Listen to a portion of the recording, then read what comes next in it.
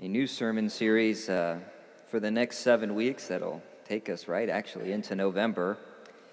And it's simply titled Seven Holy Behaviors. We're going to talk about uh, maybe some tangible ways, although not overly specific in nature, that we can exhibit holy behavior. And I'll tell you, uh, uh part of the inspiration for this uh, involves a story it's the story of a, a, Christian who lived a long, long, long, long time ago, a fellow by the name of Evagrius Ponticus.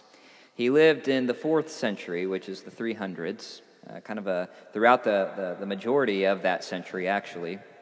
He was a really faithful and promising Christian. In fact, he had been a disciple of many of the prominent uh, teachers and leaders of the church of his day, folks like uh, Basil of Caesarea, Gregory of Nazianzus, not names, names that you would probably recognize or be familiar with, but they were kind of a big deal back then and to us today in, in theology. He was their student. And he was on the fast track, actually, to being a, uh, a significant church leader himself. But in his late 30s, he kind of did something that I don't think a lot of people expected he left behind all of his promise, all of his prestige, this fast track to being a, a leader in the church. And he traveled to Jerusalem and he became a monk. And then, after he became a monk, he went to Egypt and he lived in the desert for the rest of his life in a small community of other monks. They were called the Desert Fathers, and they were a bunch of uh, uh, writers and, uh, and, and what we call ascetics, people who gave up worldly pleasure, worldly pursuits. They lived uh, with very little in their possessions. They didn't have any material possessions, and they spent most of their time um, fasting and praying or um, uh, living out in very radical ways the teachings of Christ. And they certainly spent a lot of time just in, in silence, uh, meditating upon Scripture and even uh, meditating on spiritual matters. Some of them uh, even had uh, the majority of the Psalms memorized by heart so that they could sing them every day in community. Uh, not exactly the folks who are sitting at home watching Netflix, like we who might do so today. During his life and his time in the desert, and he didn't spend a whole lot of time in the desert because he went there as an old man. Um, Evagrius uh, engaged with God regularly, and one of the things that he reflected upon was sort of the nature of temptation and sin and virtue and grace. And it was near the end of his life, he actually compiled a list of what he called um, eight deadly thoughts, little temptation things that, that, he, that he argued were really behind every sin that one might commit. There was kind of like eight deadly thoughts. And one overarching thought, which was a love for the self and not for God or the neighbor. Very biblical idea. Well, a couple hundred years after Evagrius, um, a pope by the name of Gregory I took his list and he combined a couple of them and he added another one, changed some of the wording around, and, and this is what we get. Uh, this is what we now have today as the, the seven deadly sins. Comes from a long time of reflecting in the desert. And I, I, got to thinking about that, and I got to thinking about those, not just because it's, it's a, temptation and sin, and we always must be analyzing and examining our own temptation and, and sin and the ways that God calls us to redemption, God calls us to holiness. Um, but I also got to thinking about something that we often don't consider when we, when we think about sin, and that is God's grace and the opportunities God offers us actually to not sin ways that God calls us away from sin by choosing a different behavior, so to speak. And, and so I want to spend the next seven weeks focusing on holy behaviors, holy ways that God calls us to be more like Christ. And, and to do so, we're going to just look at, at some very broad, very uh, uh, general uh, holy behaviors that we can exhibit and, and maybe receive an invitation from God to apply them into our lives the way that we need to do so. So, the first text that we are going to use for our first holy behavior actually comes out of Proverbs 15 18. It's just one simple verse, and I invite you now just to hear the word of the Lord today from this proverb. The proverb writer writes Hot heads stir up conflict, but patient people calm down strife. This is the word of the Lord. Thanks be to God. Today we're going to talk about patience. Patience is a very holy behavior, and if you're like me, it can also be a very difficult behavior to have, or at least to have all the time.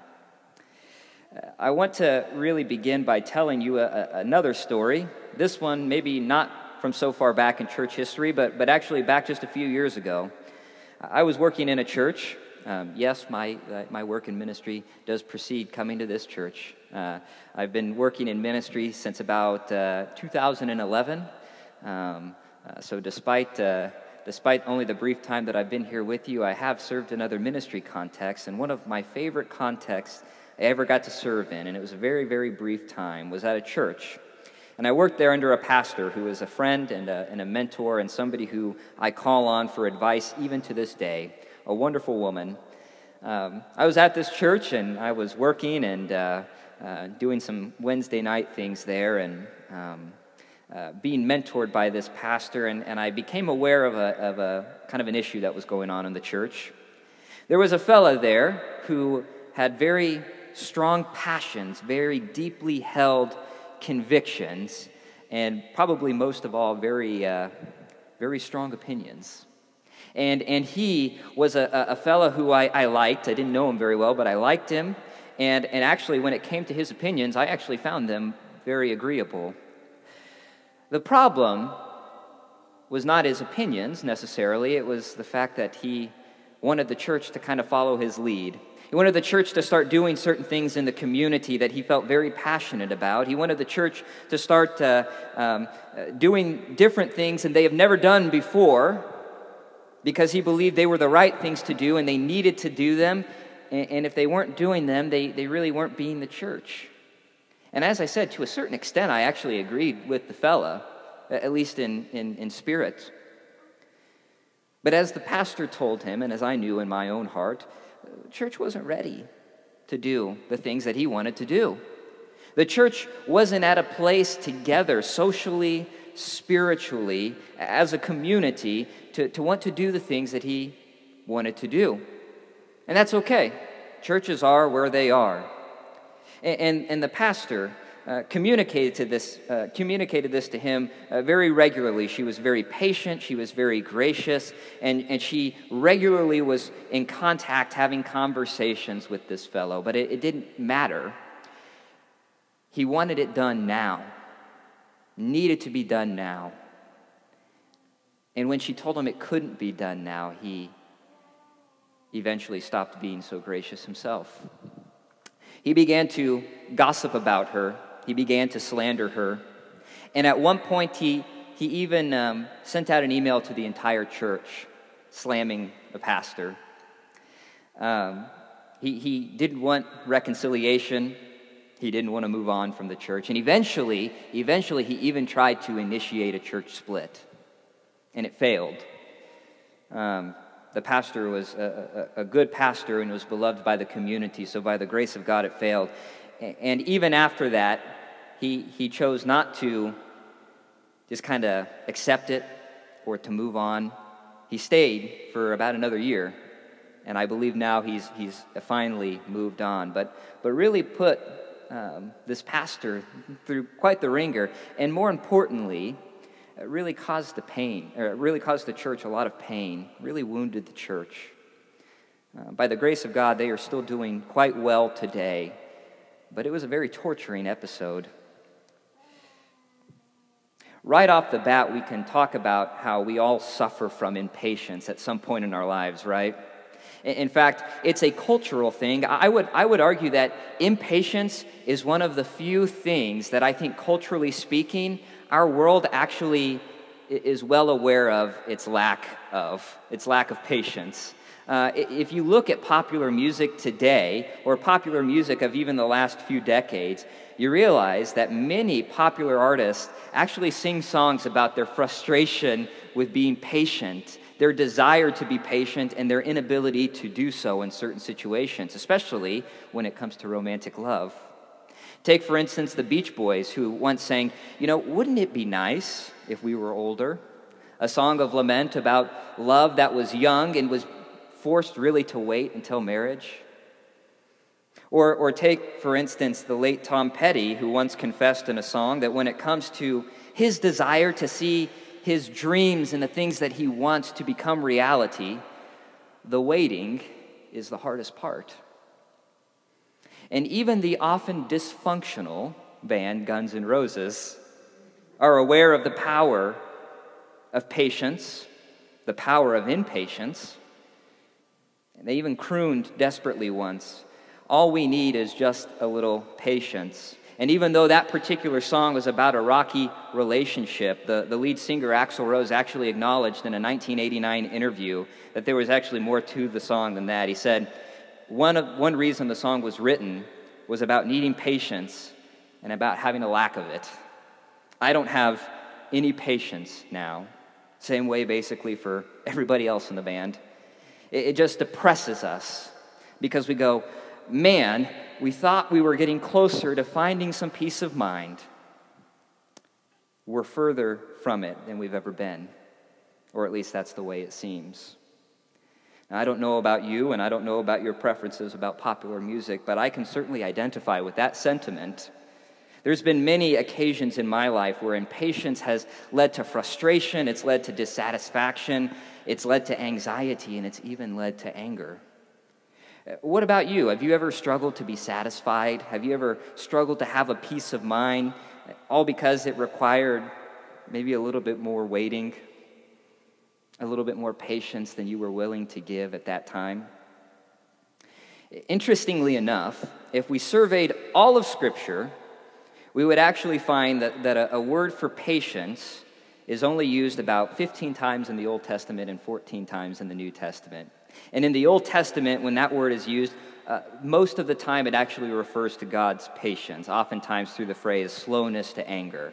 Patience in the Old Testament is understood as slowness, or, or sometimes the word there is used actually to describe large things, like large wings, the large wings of an eagle, for instance. The Hebrews understood patience as something that was very long, a long road to walk, and very slow in walking that road.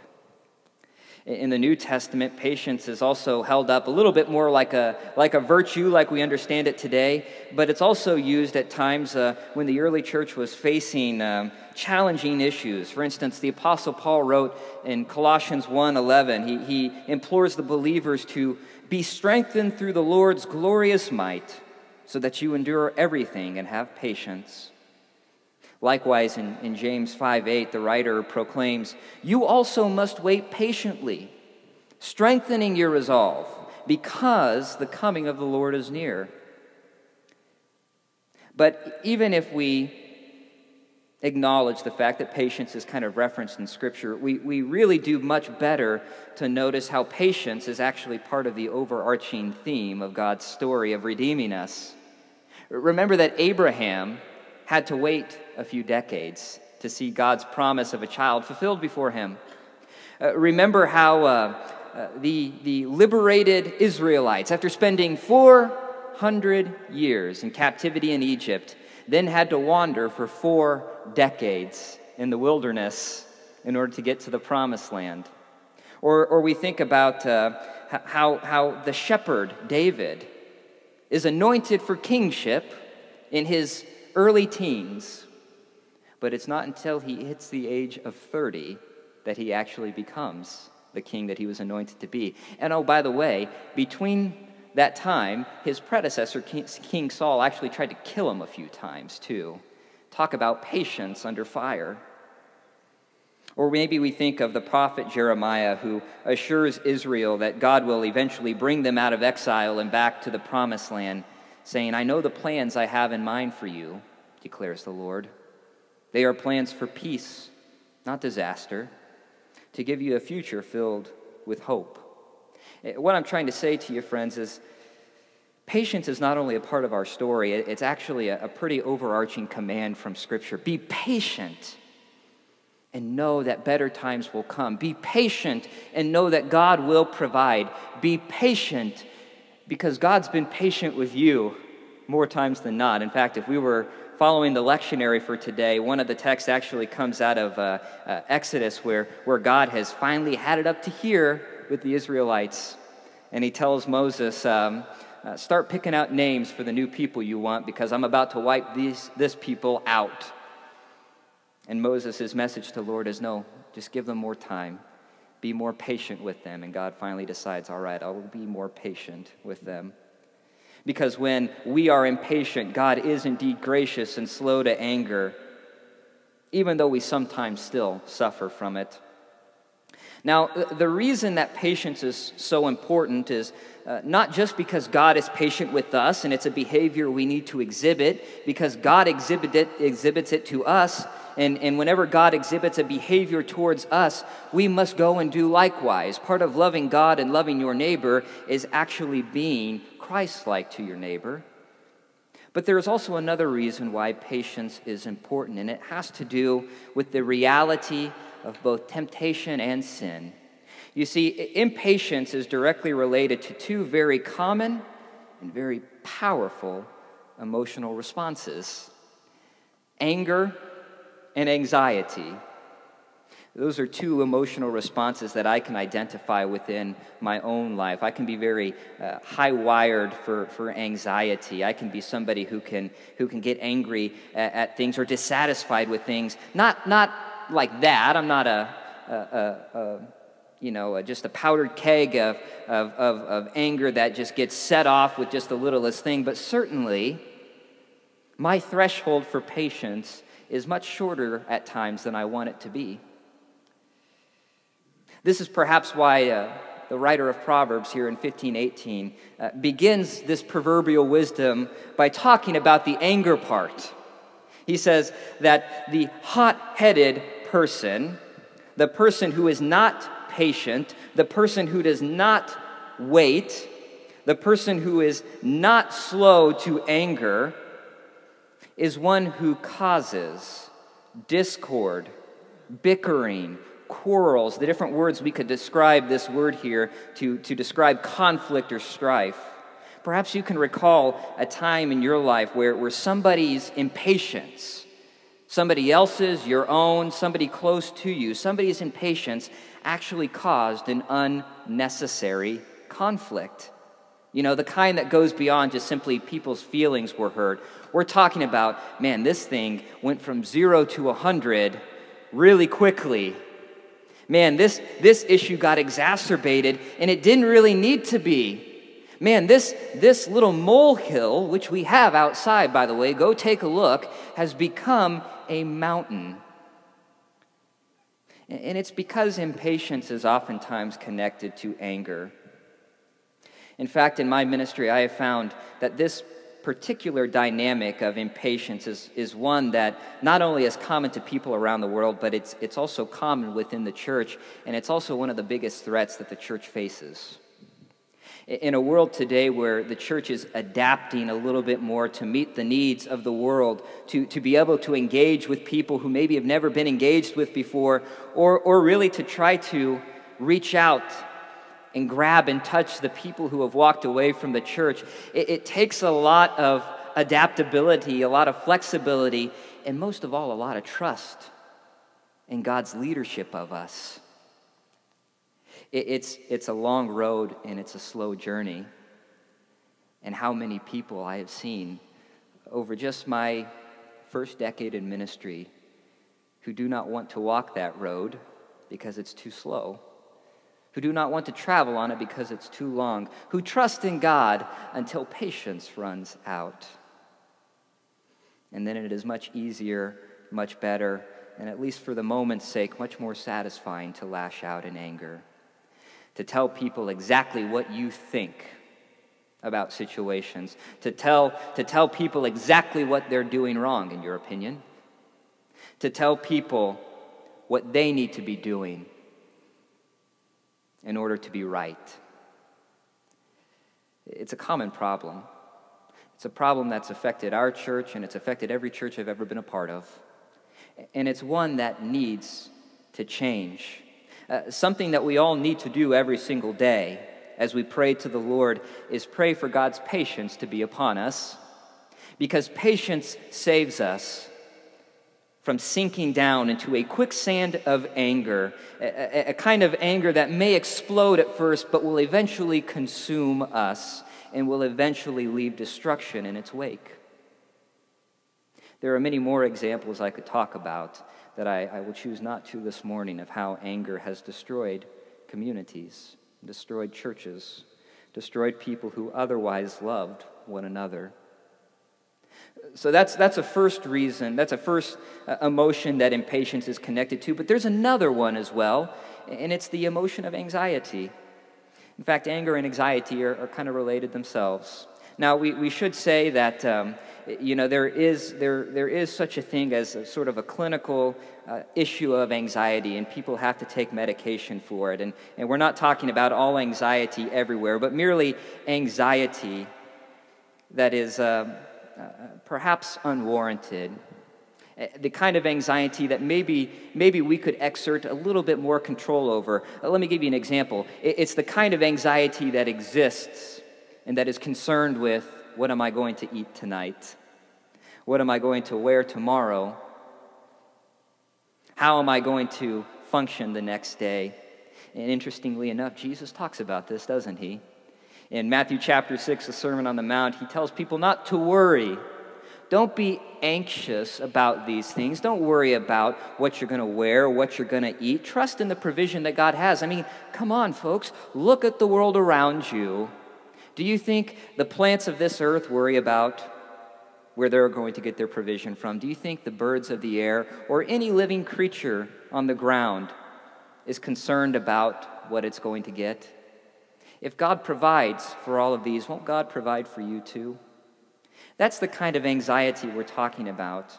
It's directly related to impatience because we sometimes fall into this trap, and I am no different, friends, of saying to ourselves, if we don't do this now, the moment will pass and we will not be able to do it again.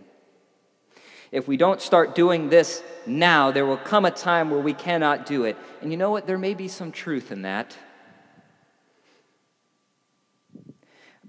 But my fear is that we do it too often.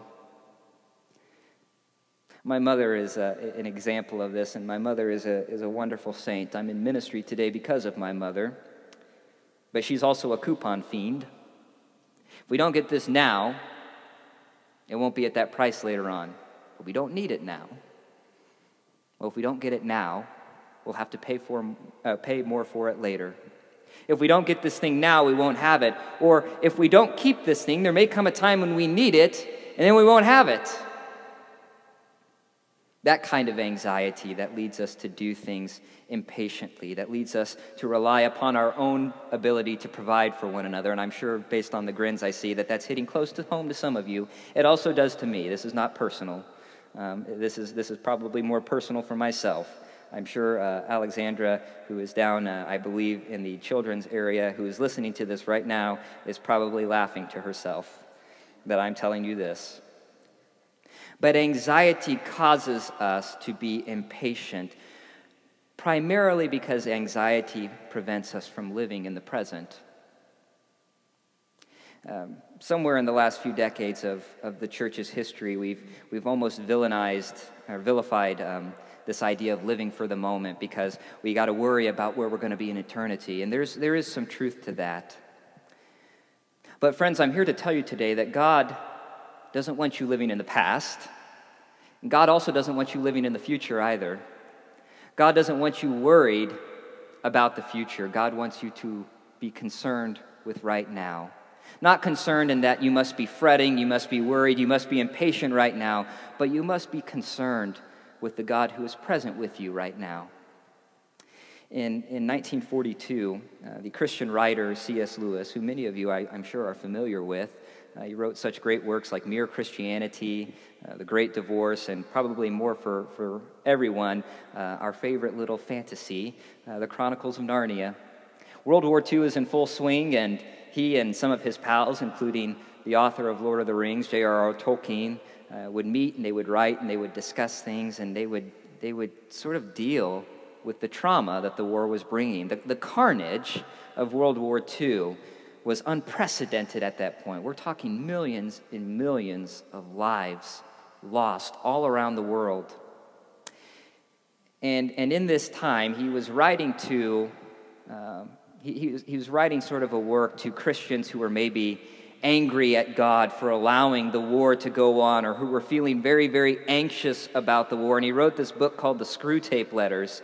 And, and it's, a, it's kind of a fantasy, uh, uh, but almost like reality book that he wrote. And it, it features two characters a, a, a sort of executive demon who is, who is like the head of like the temptation department and his name is Screwtape, and he's writing to his nephew. His nephew's named Wormwood, and he's kind of a lower level tempter. He's more of the boots on the ground guy. And they're corresponding back and forth because Wormwood is, is kind of inexperienced, and he's working on this British fellow who's living in World War II, and he's trying, he's trying so hard to, to determine if he can have faith in God. And Wormwood is just so desperately trying to lure him away from faith, uh, from trusting in God. And, and it's a book that's just letters and letters of of Screwtape writing to Wormwood and talking about here's different ways that you can destroy people's lives so that they turn away from God. Here's different ways that you can prey upon them, their vulnerabilities, their weaknesses, their insecurities, and here's how you can terrorize them to bring them to God. And in chapter 15 of that work, he writes to Wormwood and says, You know, fear both fear and, and constant pride are often very good ways of getting people away from God. He, he talks to Wormwood about preying upon their impatience, about preying upon people's impatience to see the war come to an end, to see all of this carnage end, to see peace or some semblance of peace finally return to the world, and to prey upon their impatience, their desire to see it now in order to draw them away from God. And in the process of it, uh, this demon Screwtape says, reveals to Wormwood um, something about God. He says, You know, God's ideal is for people to live in the present. We need to. We need them to, to get thinking about the past and the future. We need them to be anxious about the future. We need them to be angry about the past. We need them to be angry about what's happening right now because that's exactly what God doesn't want them to be.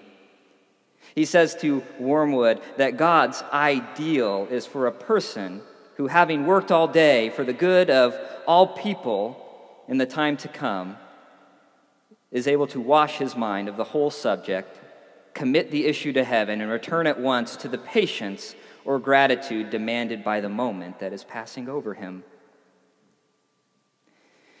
Friends, the reason that patience is a necessary holy behavior is because if we are impatient, we are not living in this moment with God. And what God desires for us to do is to live for today. Tomorrow will bring its own issues. We all know this. I've got a schedule, I know what's coming. But I, I, I cannot be anxious about those things. And on the other side of things, I, I, I don't know what the future will hold for the church. I, I, I sometimes will find myself, and, and actually more frequently, I will, I will actually wake up in the middle of the night. And for a, the better part of an hour, I will lay awake in intense anxiety and, and, and, in a sense, intense anger, thinking about whether the church in, in our world, the church in the United States, uh, will survive the next century when there are so many challenges, when there are so many problems, when there doesn't seem to be enough workers in it. And I lay awake at night praying to God, trying to communicate to God that I trust in God, but knowing, knowing within myself that I don't have the patience at that moment to simply live in the moment, the patience to have the peace to even go back to sleep. What God calls us to do today, friends, is to be patient and not to uh, bury in the sand or not acknowledge the issues and the challenges that we have. It's, it's good to acknowledge them. The, the, the, issues within our church, the issues within our community, the issues within the global church, and the entire world. Yes, yes, we need to talk about them. But if we don't have patience when we talk about them, and if we don't have patience when it comes to how we deal with them, our anger for where we are at, our anxiety for the future that we cannot know, and our trust in God and in one another is liable to implode upon itself. It's a scary thing. It's the reason why popular music artists sing about patience. It's the reason why people hurt their own communities, because patience is difficult. But I'm here to tell you this morning that God is ready and able to equip us with patience. There are simple things that we can do every single day to become people who are patient in our whole lives, even. Uh, one thing that we can do is pray to God for patience. Add to your prayer list the desire for patience. Not just that you will trust in God, not that you, not that you will just have faith or that you will grow in faith, not that, not that, uh, uh, that God would simply do work in your life and in the lives of people who need it, but pray specifically that God would give you patience. You can't acquire patience merely on your own. To do so implies that that activity is away from God. You need God to have patience. You need to pray to God for patience in your lives when you're feeling that urge to be angry or anxious because you're not satisfied with something that's going on. And rather than go to people to accuse them of something or rather than get angry with your community, it's better to just count to 10 and in counting to 10 say, God, I trust in you. Help me be patient now.